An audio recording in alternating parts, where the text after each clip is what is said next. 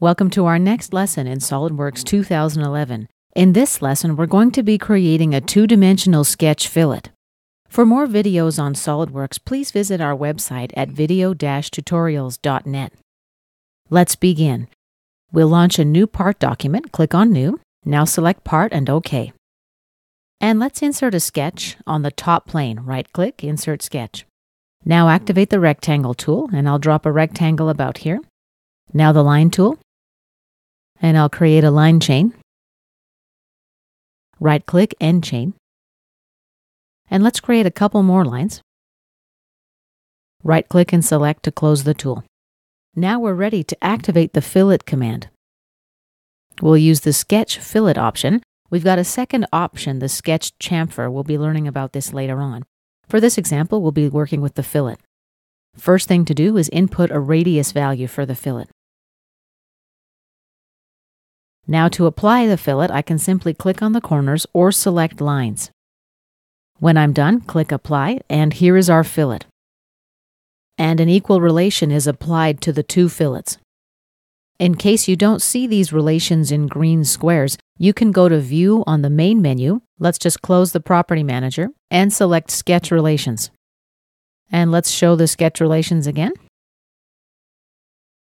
Let's undo our last fillet. Deselect all entities in the graphic area by clicking in blank space and activate the fillet command again.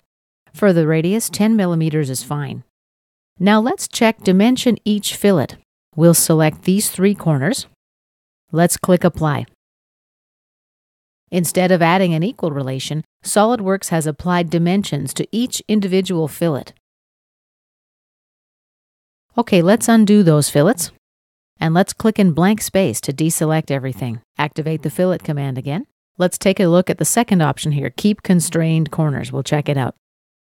Let's begin by selecting a corner in the graphic area. Click apply. Nothing happens. Let's undo that. Now let's apply dimensions. I'm going to accept the default value. And let's apply the fillet tool again.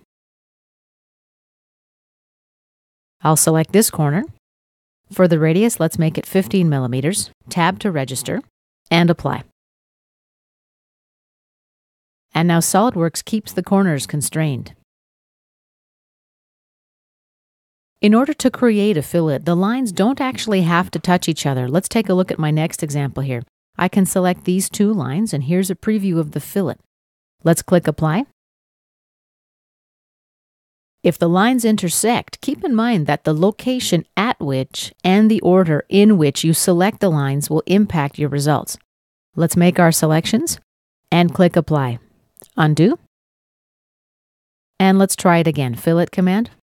We'll use the same two lines, but our selections will be different. I'll select on this side and this side. Apply. As you can see, the fillet looks significantly different from the first one. This concludes our lesson about creating a 2D sketch fillet in SOLIDWORKS 2011.